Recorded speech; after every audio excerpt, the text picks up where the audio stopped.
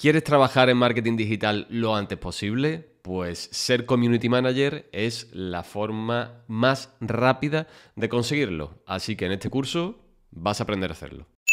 Muy buenas a todos, ¿qué tal? ¿Cómo estáis? Yo soy Mugu, vuestro mentor de marketing digital y en el día de hoy vamos a comenzar una nueva lista de reproducción en el canal que va a ser un curso para aprender a ser community manager en marketing digital. ¿Vale? Para esto vamos a ver una serie de vídeos relacionados con esta disciplina para ir aprendiendo todo lo necesario para ser community manager. Lo primero que quiero hacer ante esto es que le deis todo el apoyo posible a cada vídeo que vaya subiendo, ¿vale? Porque este curso va a seguir hasta que vosotros queráis. Así que si queréis que siga, si queréis seguir viendo este curso, dejaros un like, comentar y por supuesto suscribiros al canal. Vamos a comenzar eh, el curso de Community Manager eh, presentándome, ¿vale? Para el que no me conozca. Yo soy Mugu, soy mentor de marketing digital. Llevo más de 10 años trabajando para todo tipo de marcas eh, y luego pues me he convertido en emprendedor, ¿vale? Tengo mi propia escuela de marketing digital online, escuelamugu.com y además pues soy profesor presencial y mentor de estudiantes de marketing digital. Y hoy vamos a comenzar este gran curso del Community Manager. ¿Y por qué un curso de Community Manager? Pues básicamente porque muchos de vosotros me estáis pidiendo constantemente trabajar en marketing digital. Y la forma más rápida de comenzar es siendo community manager, representando las redes sociales de las marcas. ¿Vale? Yo mismo comencé siendo community manager y a día de hoy sigo siendo community manager de muchísimas marcas, por supuesto de la mía, porque es algo que se va a mantener en el tiempo. Y además es algo muy bonito, es algo muy interesante y si os gusta esto de las redes sociales, pues os va a encantar. Vamos a comenzar el curso definiendo qué es ser community manager. El community manager es ese responsable de las redes sociales de las empresas. Es decir, va a ser el nexo entre la marca a la que representa y el target, el público objetivo al que se quiere dirigir.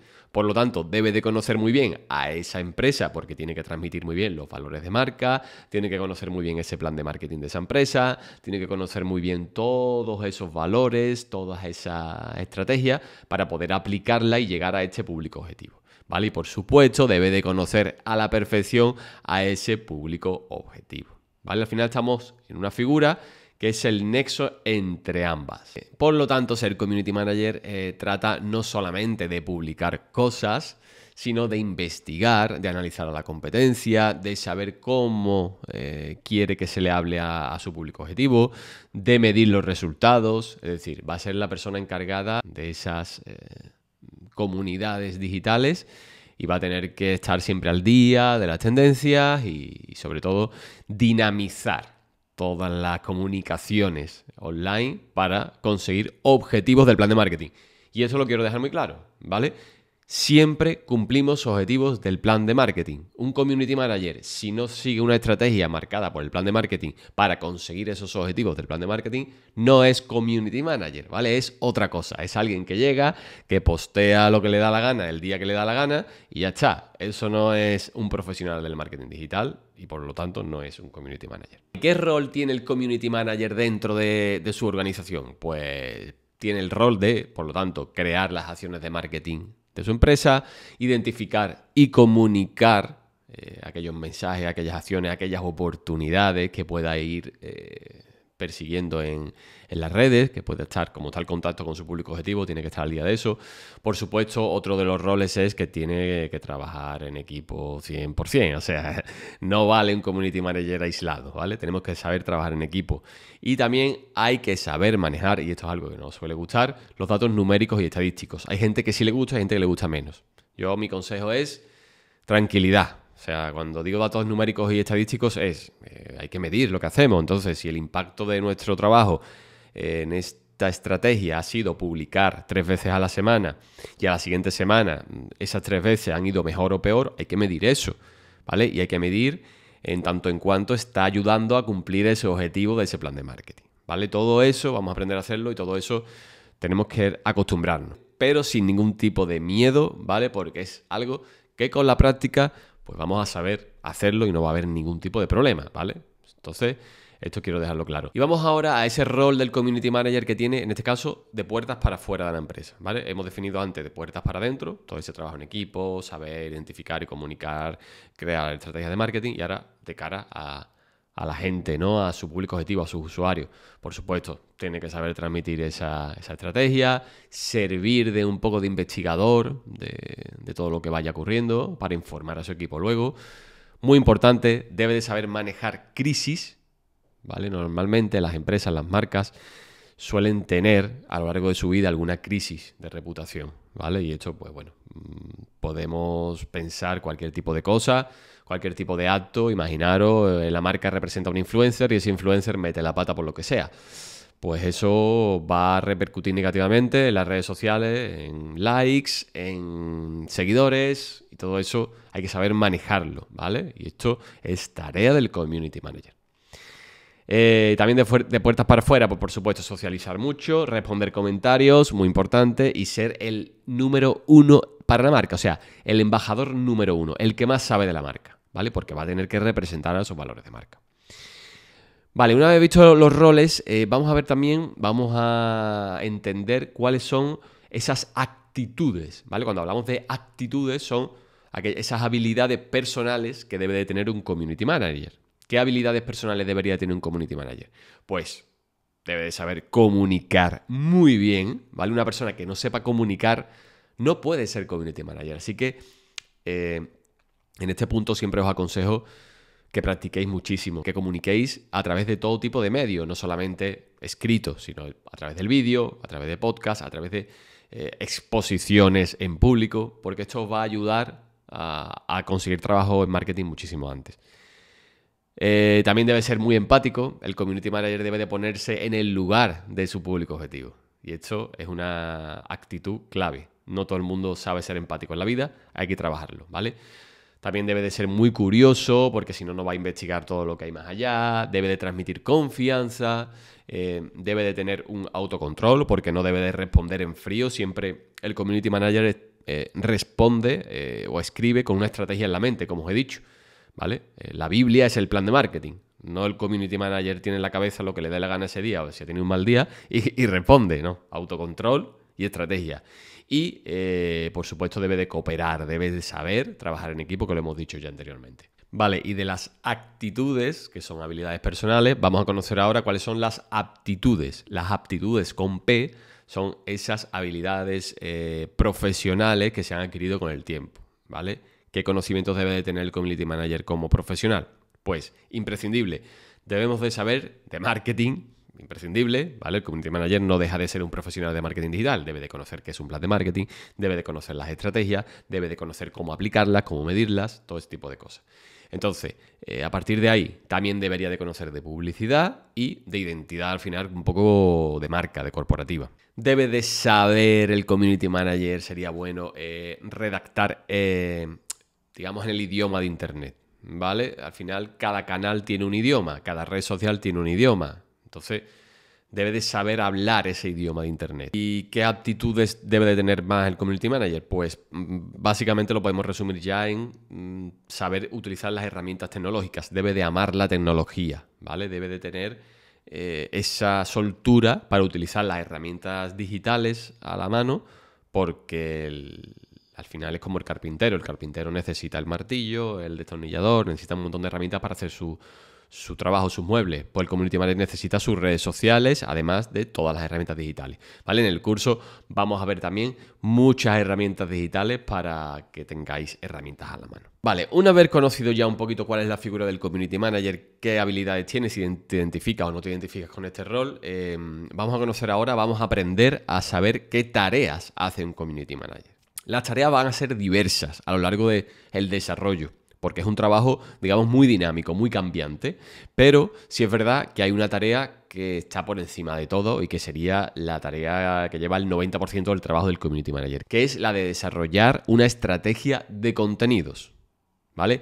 El crear contenido es eh, la tarea madre, digamos, del community manager, entonces debe de saber desarrollar todo eso. Y para eso hay que hacerlo de forma profesional. Vamos a aprender a hacerlo de forma profesional. Y para desarrollar una estrategia, Mugu, ¿cómo, vale, ¿cómo desarrollamos una estrategia siendo community manager? Vale, pues lo primero y clarísimo es me tengo que ir al plan de marketing, como hemos adelantado antes, y conocer los objetivos. ¿Qué objetivo tiene esta marca? Vamos a ver qué objetivos puede tener esta marca. Vamos a poner el ejemplo de Escuela Mugu. Vamos a inventarnos que el objetivo de Escuela Mugu eh, para los próximos tres meses a corto plazo va a ser eh, conseguir una reputación de marca, o sea, que nos conozca más gente, ¿vale? Y eso se va a traducir a conseguir un 30% más de seguidores en YouTube.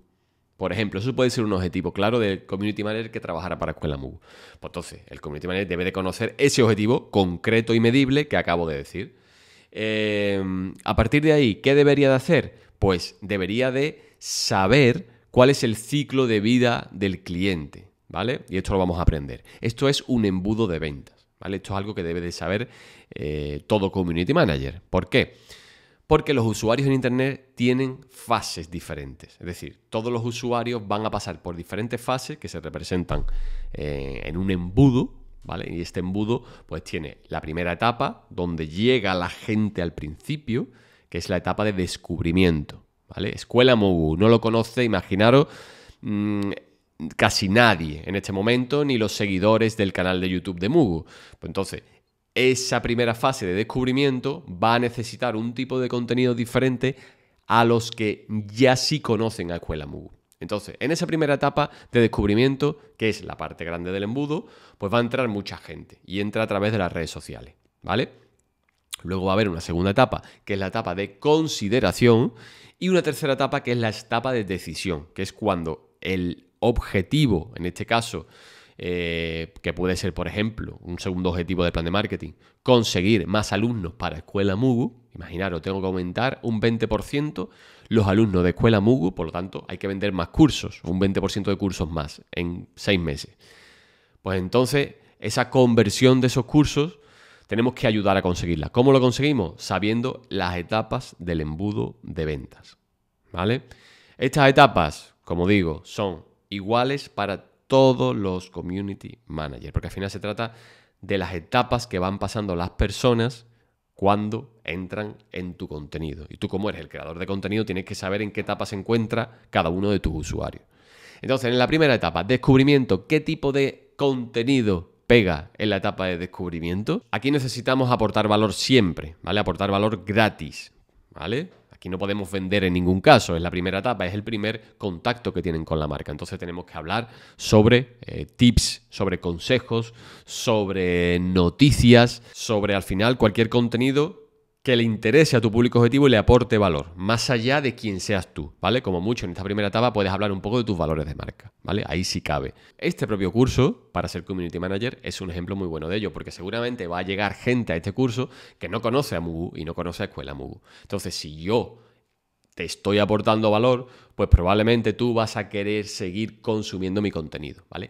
Y si sigues consumiendo mi contenido, nos vamos a la segunda etapa, que es la etapa de consideración. En esta etapa de consideración, ya esa persona está un poco más cerca de ti, ya eh, le has ganado un poquito. Entonces aquí ya sí cabe hacer un poquito de contenido un poquito diferente. Puede caber las entrevistas, ¿vale? A expertos en el sector. Son entrevistas que te van a posicionar como un líder de opinión en tu nicho, en este caso del marketing digital. Eh, webinars, eh, donde aportes muchísimo más valor en forma de, de información. Puedes hacer videotutoriales, puedes hacer descargables, ¿vale? Que te puedas descargar, por ejemplo, una plantilla del plan de marketing digital para hacer tu trabajo de, marca.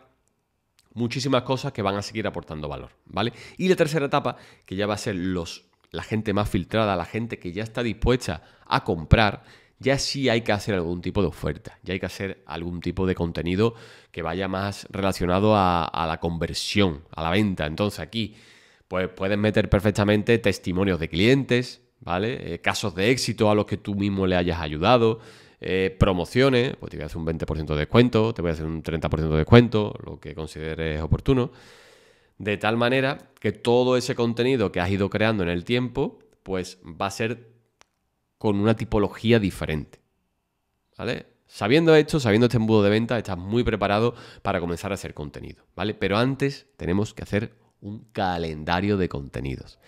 ¿Vale? El calendario de contenidos es algo muy eh, importante porque va a ser el que nos va a permitir tener una previsión en el tiempo. ¿Vale? Yo te aconsejo que hagas un calendario parecido a este, donde tengas la red social que vayas a trabajar y ahí ya vayas poniendo en el mes que sea, pues cada etapa del ciclo de vida del cliente. Si estamos en la primera, descubrimiento, pues lo vas poniendo, ¿vale? Y vas poniendo la categoría, el objetivo al que vas a ayudar, qué formato, si va a ser un vídeo, si va a ser un carrusel para Instagram, si va a ser un, un tweet.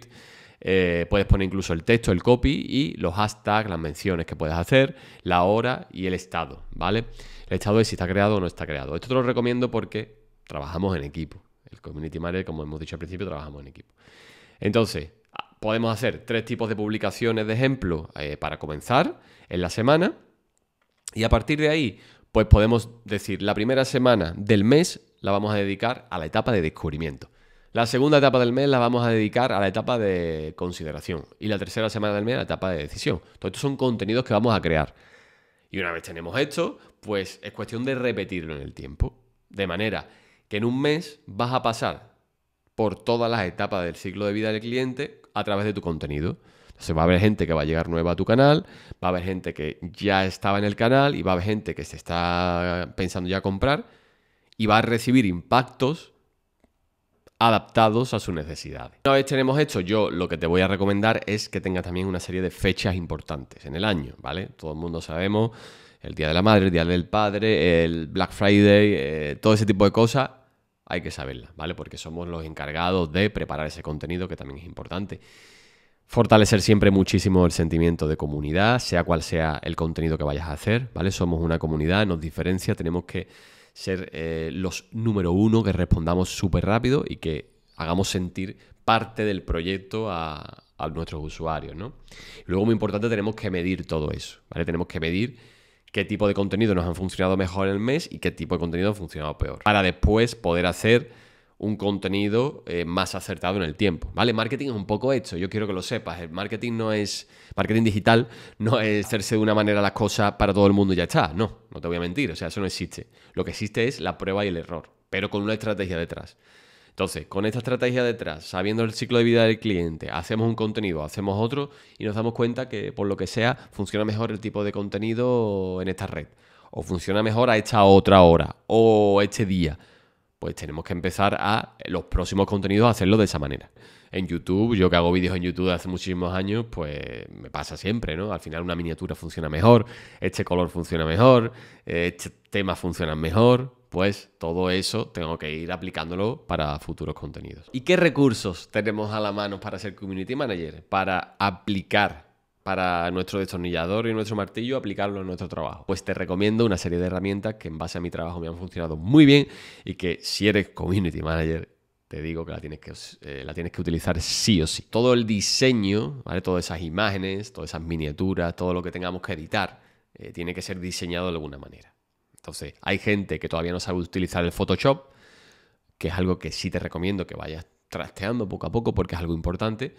Pero bueno, si quieres trabajar rápido, si necesitas ya crear contenido, estás con tus primeros trabajos, pues utiliza Canva, ¿vale? Canva.com, una herramienta que brinda pues muchísimas plantillas que puedes ir editando y publicando con todo tipo de sectores profesionales, eh, deportivos, musicales, eh, inmobiliarios, lo que te dé la gana, lo vas a tener ahí y eso te va te va a permitir pues tener una gran versatilidad, ¿vale? Para preparar todas tus imágenes, para tus posts en Facebook, infografía para tus publicaciones en LinkedIn, eh, póster, lo que te dé la gana. Otra herramienta muy importante, eh, porque estamos hablando de creación de contenido, es tener ideas de esos contenidos que ya sabemos que queremos hacer, ¿vale? Para esto, eh, primero quiero recomendar esta herramienta que es muy buena, es ansquarethepublic.com.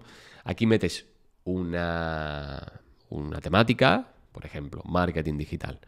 Y a partir de una keyword, una palabra clave, te va a dar ideas de lo que más busca la gente. Esto es oro puro, ¿vale? Porque de aquí puedes hacer muchísimos contenidos. Yo mismo trabajo muchas veces con esta herramienta para, eh, para mi trabajo en YouTube. ¿Vale? Para saber qué es lo que os interesa más. Que por cierto, si os gusta este curso, hacérmelo saber, dejadme en los comentarios para saber si os gusta de verdad y puedo seguir con los siguientes vídeos.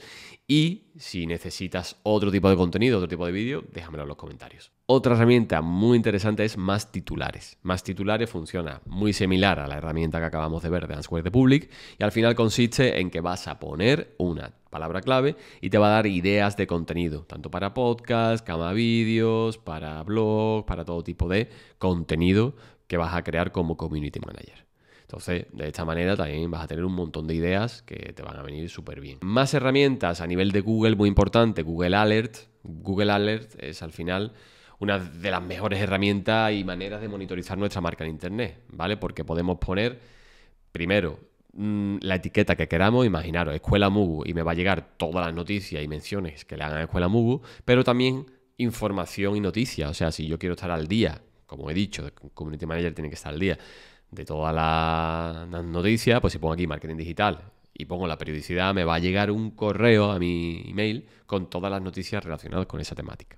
Luego también tenemos Google Trends, que Google Trends también te va guiando sobre las tendencias más eh, buscadas en torno a una temática y a un lugar del mundo. Por lo tanto, podemos ir filtrando y podemos crear nuestro contenido en función de lo que más nos interese. Al final, eh, son una serie de herramientas que nos permiten manejar nuestro trabajo de marketing digital. Que por cierto, si estás empezando en el mundo del marketing digital no sabes muy bien cómo comenzar y te interesa todo esto, te dejo por aquí un vídeo de los 10 primeros pasos que debes de hacer para dedicarte a esto del marketing digital. Y la última herramienta que te voy a recomendar eh, es una de hashtags, ¿vale? Para saber los hashtags que debo incluir en mis publicaciones, ya sea en Instagram, ya sea en YouTube, donde sea. Al final se trata de qué publicaciones tienen más alcance, que es lo que nos va a permitir llegar a más gente. ¿vale? A través de esta herramienta funciona exactamente igual que las anteriores, ponemos nuestro, nuestro palabra clave y nos va a arrojar una serie de hashtags más utilizados. También, se me olvidaba, te voy a recomendar una herramienta que es de programación de contenido,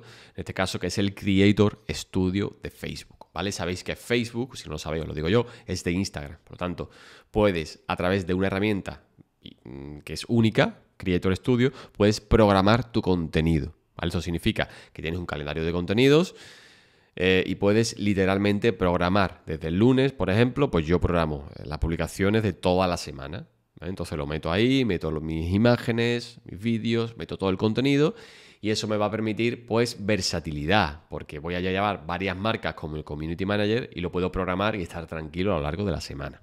Y luego para los que quieran un poco más de nivel, un poco más de nivel profesional, con muchísimas más opciones, pues mm, yo por ejemplo trabajo con Metricool. Metricool es una herramienta que te permite pues monitorizar toda la actividad de tu marca a nivel de estadísticas, análisis, programación de contenido, etc. Vale, y de esta manera pues tenemos una radiografía fiel de lo que es un community manager, de lo que debe saber hacer, de qué herramientas debe saber utilizar y cómo comenzar los primeros pasos para empezar a trabajar. Por supuesto, siempre tenemos que tener en cuenta que el community manager debe de saber marketing digital y esto quiero remarcarlo. Entonces, si todavía no sabes de marketing digital, recomiendo que te pases por mi canal porque vas a encontrar todo tipo de información acerca de esta profesión. Y si quieres más información, si quieres aprender desde cero y con un mentor a tu lado, que puedo ser yo, te dejo el enlace al curso de marketing digital eh, desde cero con Mugu en Escuela Mugu donde vas a poder acceder a una comunidad privada con muchísimos alumnos como tú a lo largo del mundo y donde vas a tener un mentor que te va a ayudar paso a paso a aprender marketing digital.